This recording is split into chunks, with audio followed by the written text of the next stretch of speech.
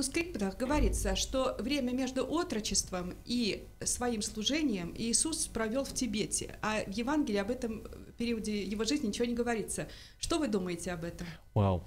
Э, э, действительно, в некоторых манускриптах, как вы правильно заметили, указано, что время между своим 12-летием, которое последнее, что зафиксировано в Евангелии, и временем, когда он вернулся к служению, последние три года его жизни зафиксировано, он провел, может на Тибете, но в некоторых других э, манускриптах в Бенгалии у йогов, э, изучая их, их медитативные э, методы. Я думаю, это ерунда. Естественно, ерунда. И к этому могут быть несколько объяснений. Во-первых, первое объяснение, он был иудей.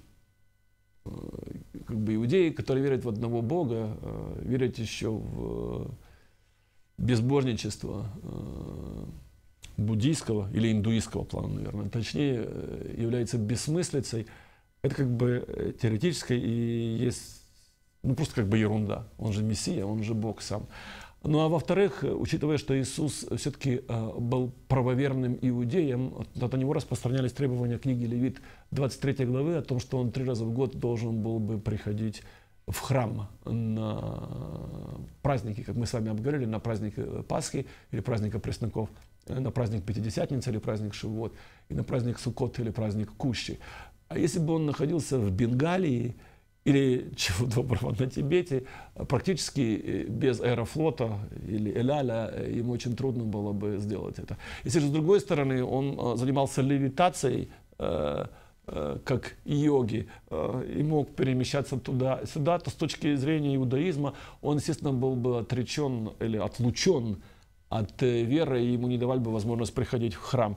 Э, хотя, конечно же, в Талмуде существуют некоторые, э, но это гораздо более позднее развитие в талмудической литературы в отношении Иисуса, и она уже чисто реакционна, то есть на попытки христианства изни навязать не совсем корректной манере Иисуса. И э, говорится о том, что на самом деле Иисус был колдуном. но это опять-таки реакционная попытка.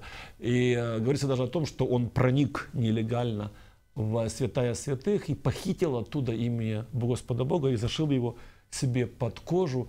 Э, и при этой помощи он делал, конечно, какие-то свои э, чудеса. Мы должны разделять э, мифы народов мира, в том числе бенгальские и еврейские, от реалий, которые есть в Новом Завете. Поэтому, ну, так для общего развития можно поговорить на эту тему. Я не думаю, что есть какие-то серьезные показания того, что Иисус провел свои годы на Тибете? Нет, конечно. Спасибо. Пожалуйста. По преданиям нашей традиционной церкви православной, значит, они утверждают, что Лука при жизни значит, нарисовал несколько картин э, Марии, мамы Иисуса. Меня интересует вопрос такой. Э, существовало ли изобразительное искусство в то время у, у еврейского народа? Хороший вопрос. Спасибо за него. Um, существует заповедь э, не творить изображение. Однако э, она неправильно понимаемая э, заповедь. Я объясню сейчас почему, что я имею в виду. А первым художником еврейским являлся некий Василий Ил. Согласитесь, это не совсем еврейское имя. Я вот думал, как это Василий Ил или Василий а, попал в еврейскую Библию. А оказалось, он никакой не Василиил, это тот, который делал как бы скинию. Вы помните, когда Моисей ему рассказал, как устроить? Имя его было Бецалель. Звучит уже гораздо более по-еврейски. Бецель. Это три слова обозначает «в тени Бога». В тени Бога. И Писание называет его искусным сердцем – то есть человек, а, который мог отличать добро от зла. Э, не запрещено изображение, запрещено при помощи этого изображения, вернее, поклоняться изображению. Если есть орнаментальное изображение. В гораздо более позднем развитии иудаизма а, позволяется а, рисовать человеческие образы и так далее, и так далее, и так далее. Но им ни в коем случае нельзя поклоняться. В свое время Израиль, который был помещен в языческую среду, где да, поклонялись изображениям, в синагогах вы, скажем, после возвращения Завилонского пленения, шестой век, начало, пятый век, четвертый век – а вы вдруг обнаруживаете все больше и больше появляющихся изображений, в том числе знаков зодиака, в том числе различных животных, в том числе человеческих лиц. Причем это в ортодоксальных еврейских синагогах. Это происходит в связи с тем, что практически, если вы посмотрите Писание, проблема язычества или идолопоклонства в Иудее исчезла или практически исчезла. Не то, что было во времена существования Израиля, я говорю, Северного царства. Да, помните, Северное царство, покоренное Сирией в 8 веке а, на, до нашей эры, в отличие от 586 года, то есть 587 год, покорения Иудейского царства. Так вот, после покорения Иудеи и освобождения спустя некоторое время, тем более после а, возвращения Зарувавелем и построения нового храма возвращения Эзры во времена Неемии, проблема идолопоклонства, как таковая в Южном царстве Иудеи, перестает существовать. И мало-помалу э, начинает позволяться делать различные изображения, поскольку основная проблема язычества, поклонения идолам и образом уже не существует. В то же самое время, после исхода из Египта, когда очень сильно было язычество, влияние язычества в Израиле. Тем более после установления царства или даже его разделения сыновьями Соломона на два. Северное Израиль с десяти коленами и южное с двумя коленами Иудеи, эта проблема стоит очень остро. Поэтому на всех руинах или упоминаниях, или ссылках, или вы нигде не найдете изображений, тем более человеческих, потому что люди одномоментно, одномоментно как бы э, переводили их в плоскость поклонения. Тем не менее, общепринятая концепция иудаизма, что изображение не запрещено. Не запрещено. Ему запрещено поклоняться. А, в этом смысле мы приводим а, пример всегда Бецалеля, который был искусный человек сердцем и который понимал отличие между изображением как символом прекрасного, того, что есть в этом мире, и а, изображением как предметом поклонения. Теоретически я вполне могу допустить, что Лука мог нарисовать Марию э, или Павла, или кого угодно. А эта традиция, которую вы упомянули, она не находит никакого подтверждения в Писании. Она не находит никакого подтверждения в текстах, кроме староотеческих, которые для меня не являются истиной в первой инстанции. Теоретически он мог рисовать все, что угодно. Практически Имело ли это место быть, это относится к разряду спекуляций, на которые я не могу и не хочу отвечать, потому что ну, ничего не добавляет или не прибавляет. Мне очень сложно отвечать на этот вопрос. Даже не сложно, но как-то интересно. Моя жена профессиональный художник, как я сказал. И у нее были периоды в жизни, когда она полностью оставляла искусство, возвращалась к нему, опять оставляла, опять возвращалась для того, чтобы стать более или менее сбалансированной. А, дело в том, что э, в России не только поэт больше, чем поэт, в России художник больше, чем художник. В России вы всегда должны были с определенной истовостью относиться к искусству вообще или к живописи, или изобразительному искусству, или предметному искусству, как сейчас называют абстракционистскому. В частности, то есть вы должны полностью были служить ему. И в какой-то степени, наверное, это правда – а, вы не можете стать знаменитым художником в том смысле, в котором это понимается в современном э, мире, без того, чтобы полностью не отдаться этому, полностью не быть рабом этого искусства. И это опасность. А делать как попало, э, поэтому, к сожалению, не существует такого понятия, как протестантское искусство. Оно все очень убогое, к сожалению. Если вы сравните его с искусством Возрождения или католическим искусством, то протестантское искусство не выдерживает никакой критики. Это касается и живописи, это касается и литературы, это касается и стихосложения или рифмоплетства, как бы я точнее сказал, когда люди думают, что э, каша и малаша – это и есть стихи, потому что как бы, Бог смог, ну и так далее. Они не понимают, что такое стихи. Поэтому, к сожалению, мы имеем э, выхолащивание или упрощение, или вульгаризацию э, того, что есть. И протестантизм на самом деле, он достаточно скуп – на великие имена. А что такое в музыке существует? Бах, наверное, можно считать колоссальным гением. Вот. А что касается как бы живописи и, и э, литературы, у меня есть серьезные как бы, проблемы с протестантизмом вообще, тем более как бы с русской веткой.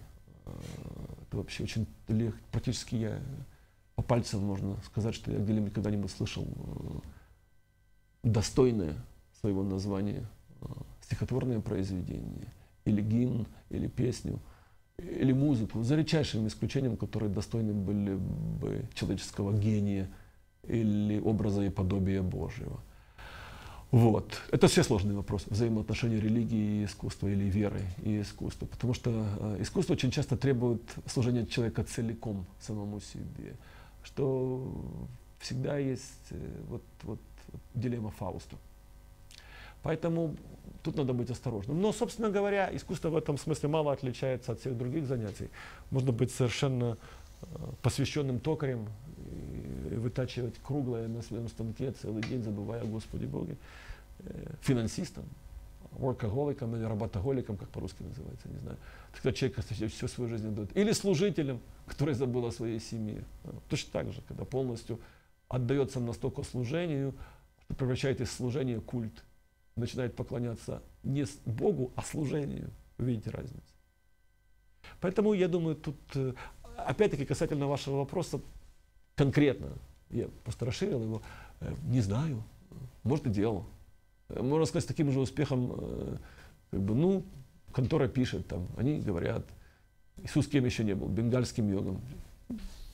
Скажите, вот вы говорили о том, что, будучи нерожденным евреем можно им стать. Э, не могли бы вы более подробно пояснить вот этот вот, э, вот э, этот момент? Без это относится, относится ли это к тому, что мы называем духовным Израилем? Нет, это не имеет никакого отношения к духовному Израилю. А, христианин не еврей. Понятие духовный Израиль не существует. Это выдумка церкви.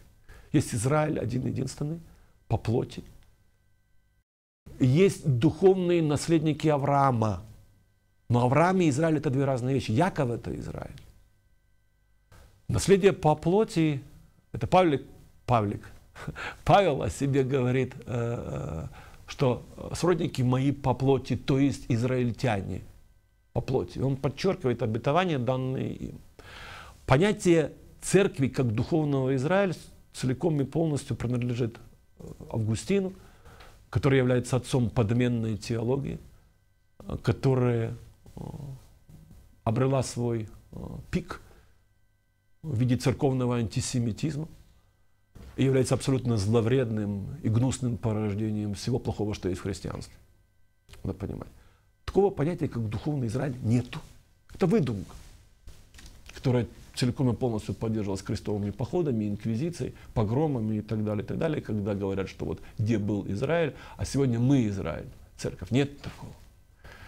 Когда мы говорим о иудаизировании в отрицательном контексте или в, как на иврите называют, гиюр, или переход из нееврейства в еврейство, а это относится, как я сказал, достаточно сложный вопрос, потому что трудно сказать, что мы имеем в виду, еврейство или иудаизм. Да? Это как бы переплетающиеся вещи. Но в принципе а, а, процесс, предположим, мужчина, чтобы как бы упростить ситуацию, он хочет стать евреем, а он китаец. Что он для этого должен сделать? Существует определенная процедура, формальная процедура, которую вы проходите, она занимает год, полтора, иногда два. Когда вы изучаете э, традиции еврейской, еврейский язык, Тору, обряды, э, те или иные вещи, которые сопутствуют постановлению логические в вашей жизни, которые завершаются обрядом обрезания. И вы причисляетесь к еврействам. Отныне вы еврей во всех отношениях. Во всех отношениях. Во всех отношениях. Делает ли вас это рожденным свыше человеком? Нет, отнюдь. Но с точки зрения раввинов, а они являются законодателями моды, хотим мы этого нет на сегодняшний день, это делает человека евреем. Да, у меня есть достаточно большое количество знакомых, которые прошли этот обряд и э, стали евреями, будучи уже израильтянами. Нельзя путать. Вы можете быть израильтянином арабом, израильтянином русским, израильтянином украинцем, но это не обязательно, что вы еврей. То есть как бы израильтянин это принадлежность к государственному обществу, к народу. Условно, потому что как бы в древние времена, понятно, это было одно и то же. Сегодня понятие израильтянин – это принадлежность твоя государству Израиль. Как понятие россиянин не значит, что ты русский. Верно? То же самое израильтянин, ты можешь быть любой национальности. Но представьте себе, что какой-нибудь израильтянин хочет стать евреем. Или не обязательно израильтянин. Он проходит этот процесс. И он становится евреем, и его дети, естественно, становятся евреями. Именно поэтому такое большое разнообразие вы можете видеть евреев из Эфиопии, амхарских, которые говорят на амхарском языке. Они считают себя потомками царицы Савской. Они черные все. Но они поразительно, они не совсем такие черные, как другие э, э, черные из Африки. И совсем другие, у них европейские черты лица. Поразительная вещь. И, э, э, тем не менее, абсолютно черные. Э, есть евреи-выходцы из Бухары, э, выходцы из арабских стран. Есть евреи, у меня есть корейцы, или как бывшие корейцы, да, я знаю огромное количество как бы, людей, которые национально родились в других странах, но тем не менее решили потом быть... Дело вот в чем. Тут существует определенная э, э, проблема. Ведь когда вы становитесь евреями, э, вы становитесь ненавидимы всем миром. Это надо понимать. То есть мы живем как бы в Израиль, ну, как апофеоз еврейства или квинтэссенция еврейства, оно живет в состоянии, э, был такой роман у Джорджа Орова, назывался 1984. Там были такие штучки, назывались «Пятиминутки ненависти» когда любой бра- старшего брата, то есть который наблюдал за тебя всевидящим оком, э, часто это делается для того, чтобы достичь единства, надо выработать ненависть к внешнему врагу. Это, кстати, серьезно используется в истории России, в истории многих стран. Когда нечему вас объединить внутри, то находится э, внешний враг, и это вас как бы объединяет. Очень часто выводит эта хромая кобыла на какое-то э, время. Так, мы живем вот в такой вот среде на Ближнем Востоке, когда все вокруг нас ненавидят. Там 100-200 миллионов арабов, в том числе как бы все остальные говорят, что нас любят. Но на самом деле Израиль в самом широком месте 68 километров, из которых две трети пустыни, в котором нет ни газа, ни воды, что-то там сейчас нашли, ни золота, ничего на самом деле. А на него претендует еще какая-то э, группа людей, которые называют себя народом палестинским, непонятно почему, непонятно зачем, Суть простая в том, э, другие страны, которые любят Израиль, они продают террористам оружие, э, видно, с большой любви э, к Израилю, и так далее, и так далее, и тому подобное. Поэтому, когда человек становится евреем, он должен быть готов к тому, что вместе с благословениями, которые он получает в Библии, он получает еще, почитайте 28 главу книги Второзакония, там есть вот такой список благословений и на пару страниц проклятий. Это как бы данность.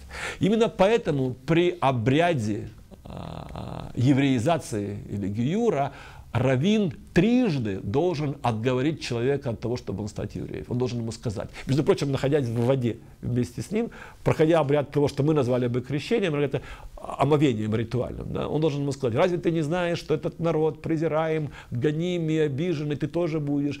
И, и во имя я призываю тебя не обдумать еще раз.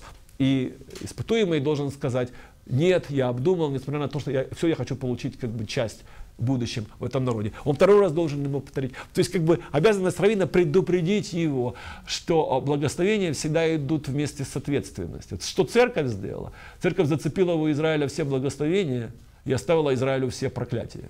Как бы, немножко несправедливая вещь. Поэтому это большая ответственность, с одной стороны, и большое благословение.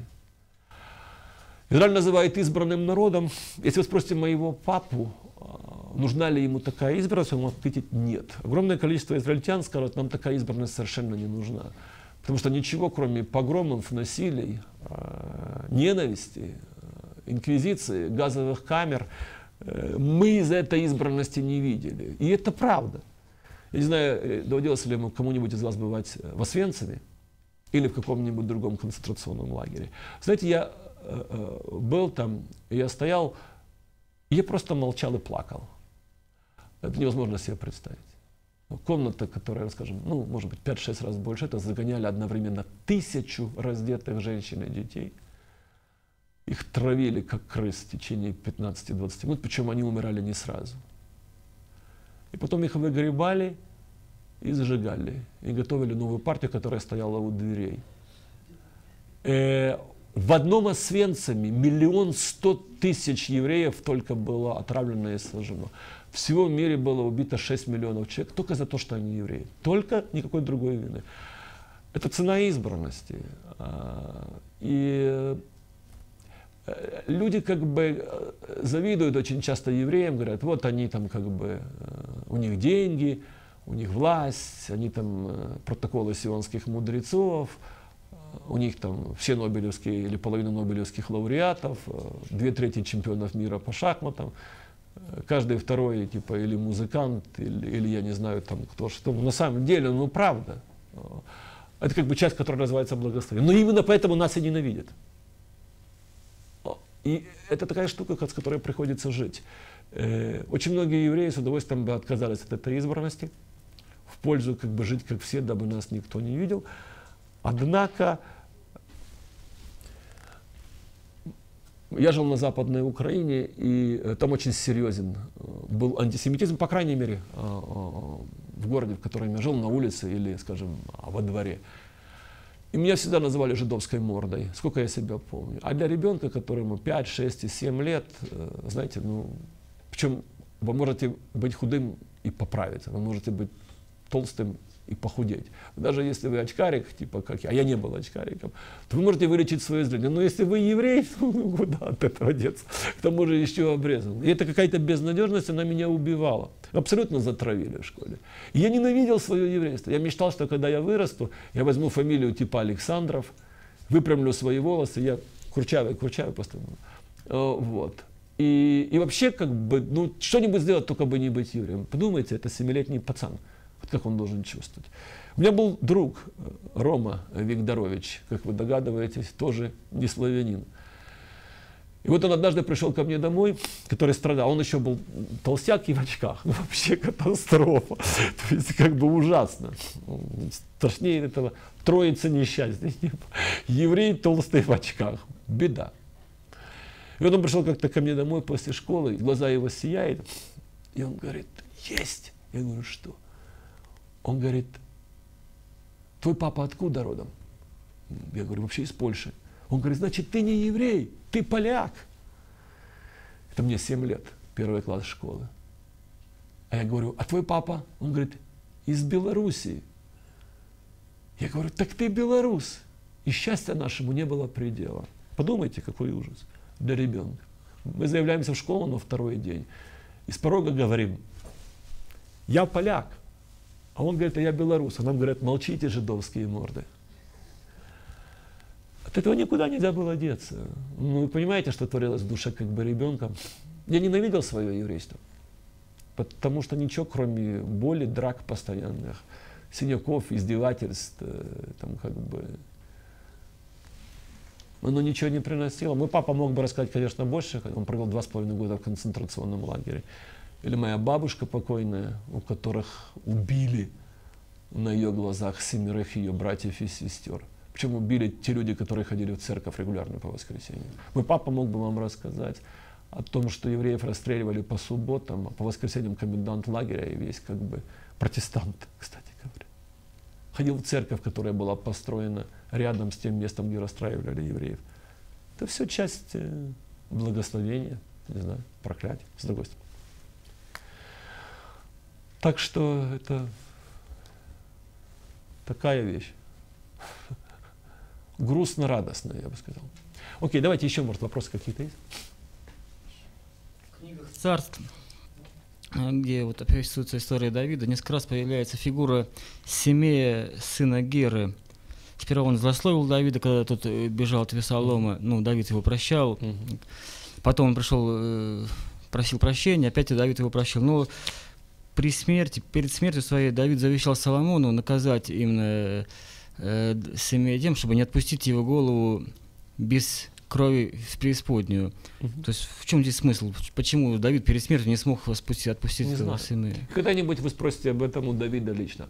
Смотрите, э, э, это хороший вопрос, э, наверное, но если Библия не пишет ничего по этому поводу, значит, это все, что мы знаем по этому поводу. Толкования могут быть какие угодно. Толкования могут быть, начиная от того, что Господь Бог открыл Давиду истинную мотивацию да, этого человека, прихрамывал.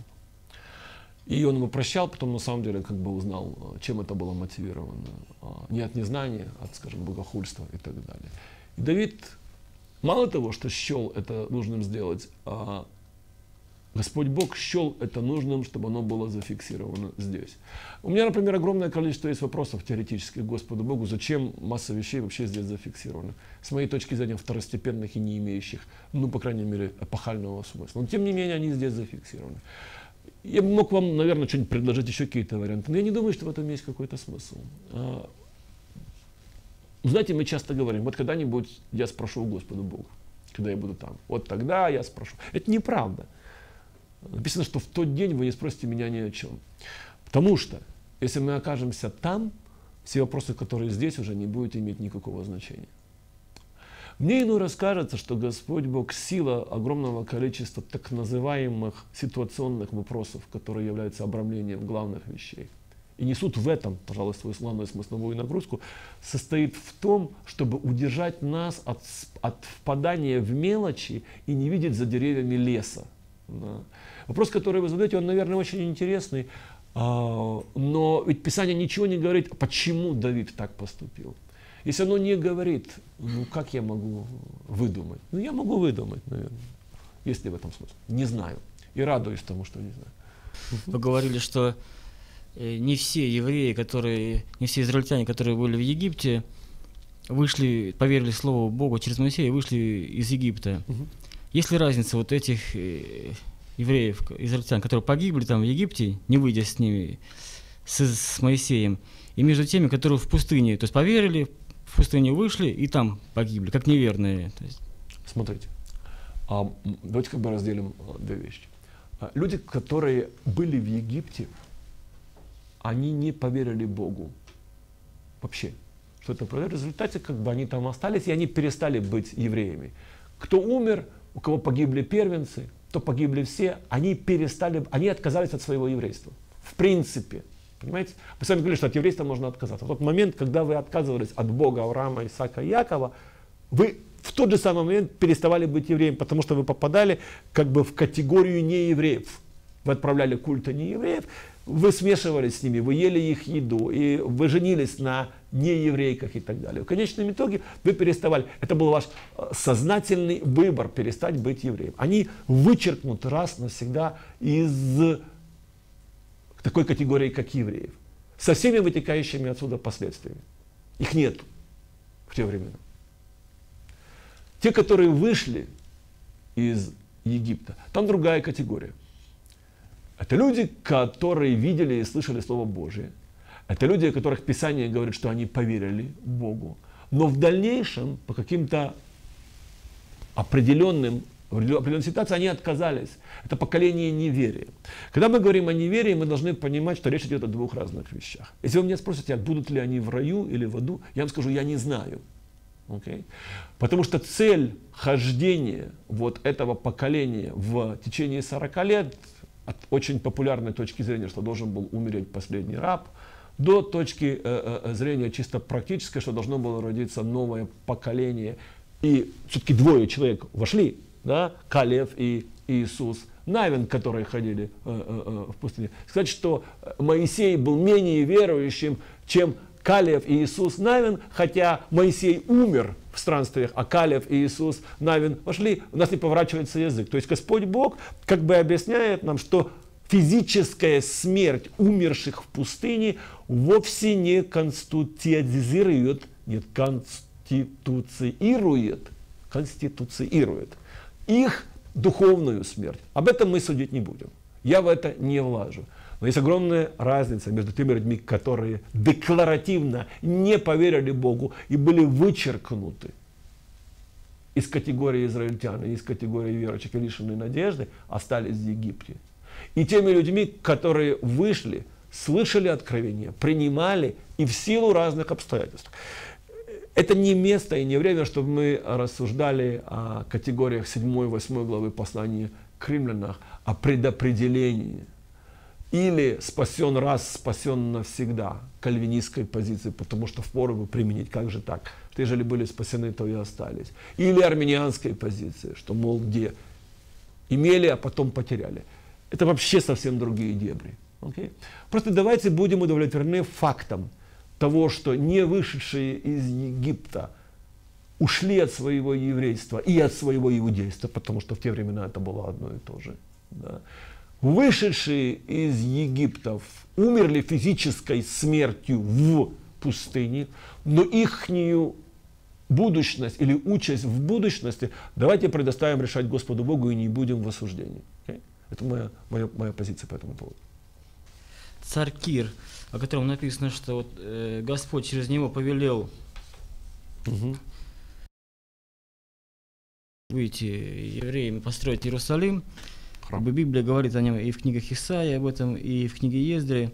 Э, параллельные этим, этим местам есть вавилонские источники, которые то же самое практически говорят, только за исключением, что ему повелел это не Господь, а Мардук, то есть угу. Бог, которому он поклонялся. То есть это было слепое такое, как бы, для Кира повеление, то есть он как бы думая, что он поклоняется Богу, поклонялся Мардуку, или это какой-то другой? Хороший вопрос.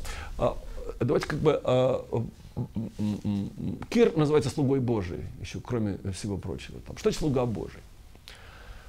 Не надо одухотворять этот термин. Очень часто Господь Бог действует через обстоятельства а, той местности. Например, э, как всегда, давайте немножко отойдем в сторону, чтобы большое виделось на расстоянии. Большинство текстов, которые э, э, есть в книге Второзакония, в частности, и в книгах Исход, не в нарративной части, а в части как бы ритуальной, в книге Левит, например они заимствованы, я не боюсь этого слова, из других древневосточных источников. Например, а, сюзеренно-вассальные типы договоров, которые существовали на Древнем Востоке, например, если ты мне вот это, то я тебе то, они буквально, иногда дословно, повторены во второзаконии. Значит ли это, что на самом деле какой-нибудь там неизвестный автор э, Пятикнижья Моисеева, условно давайте как бы, отстранимся от того, что мы понимаем. Взял просто содрал это или занялся плагиатом какие-то тексты, а потом как бы пользуясь человеческим незнанием, сказали, это сказал Господь Бог. Так приходят ученые, говорят, секундочку. Это же стандартные восточные тексты, как они оказались в Библии.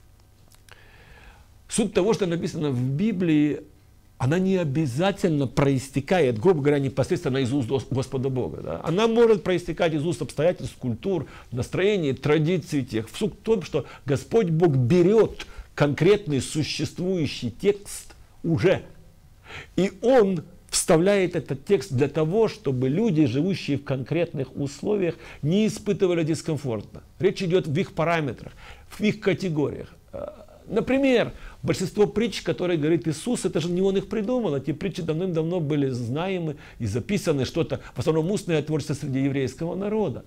Иисус не выдумывает эти притчи. Есть такой один серьезный католический хороший фильм, где мама э, Мария ведет Иисуса полем, э, за ручку он совсем э, молоденький мальчик, ему лет 10, наверное, 11, она ему рассказывает все эти притчи, которые он потом рассказывает, как бы своим ученикам и народу. Это не значит, что Иисус является автором этих притч.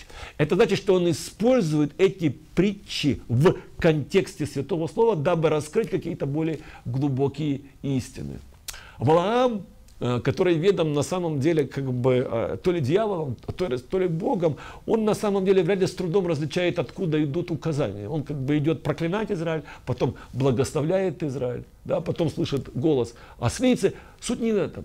Суть в том, что Господь Бог использует даже дьявола, иной раз, как, например, в случае с Иовом, для достижения своих целей. Поэтому вполне возможно, что Кир слышал это как бы и через Мардука, как указание, транслитерация того, что мы имеем в Святом Писании, указанного от Господа Бога. Вопрос не в этом. Господь Бог использует абсолютно все существующее в этом мире, включая дьявола и его слугу Мардука да, для достижения своих целей. Поэтому здесь не так важно. Вполне возможно, что это классический текст, который был заимствован оттуда и привнесен в Ветхий Завет для того, чтобы Господь Бог мог объявить свою власть, в том числе и над Мордуком. У нас есть, э, у меня есть один служитель, и я получил от него э, в Америке сейчас, у него дочка родилась с серьезным дефектом сердца. И, будучи совсем маленькой, один месяц, два, три, ей проделали уже шесть операций, сейчас ей года полтора уже. Да. И никто не говорил, что она будет жить. И у нее э, проблема, значит, как бы э, недостаточно развиты э, желудочки в сердце. И один кровоточит. Из-за того, что он кровоточит, что само по себе зло, тем не менее, одна часть или одна камера сердца как все-таки была снабжаема а, всеми полезными веществами из крови и смогла развиться до нормальных размеров. Достаточно образная и запутанная штука, но к чему я говорю? Что даже через зло совершенно очевидная болезнь, Господь Бог сумудрился каким-то образом сделать или развить ей вот эту вот э, э, проблемную э, часть сердца, которая у нее есть. Я думаю, в этом же контексте, даже если это как бы классический текст, который указывает как на Мардука, нет никакой проблемы в том, что Господь Бог взял его и сказал, вот таким вот образом в обход я использовал его для того, чтобы евреи могли прийти в Иерусалим и построить свой храм. Иов, та же самая история. Мотивация на самом деле инициированная как бы даром ли, как бы столь э, э праведен или, или богобоязнен э, он. А вот ты вот говорит, забери у него, будет ли он. То есть как бы Господь Бог берет инициированную дьяволом беседу и как бы делает это. Значит ли, что сказанное дьявола принадлежит Богу? Нет, это сказано дьяволу. Но Господь Бог берет помещает новый контекст и в конечном итоге приводит к благую ситуацию. Поэтому нас не должно смущать, что мы находим а, схожие или даже иногда абсолютно идентичные тексты в... Я могу привести еще один пример. Есть знаменитая фраза а, «Суббота для человека, не человек для субботы». Знаете, да? Кто автор? Как Иисус вроде, да? Неправда. Это совершенно нет. Это, это, это фраза, которая а, Э, была зафиксирована, не вдаваясь в подробности, немножко позднее, после этого срока в одном из иудейских э, источников, и которая представляла собой ни много ни мало одно из направлений в иудаизме. Были, которые говорили, что человек должен служить в субботу. Были такие фарисеи, которые говорили, что суббота должна служить человеку. Дословно. Суббота для человека, а не человек для субботы.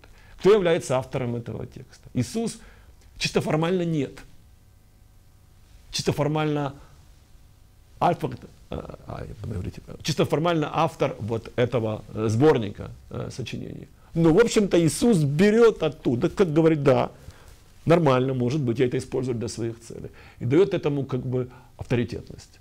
Вот в этом контексте ему надо рассматривать и, и, и ваш вопрос. Поддержите ТВС молитвой и финансами. Не рассчитывайте, что пожертвует кто-то другой. Так думают многие – и хорошие проекты перестают существовать. Информацию, о чем молиться и как пожертвовать, вы можете найти на сайте www.tvseminary.com.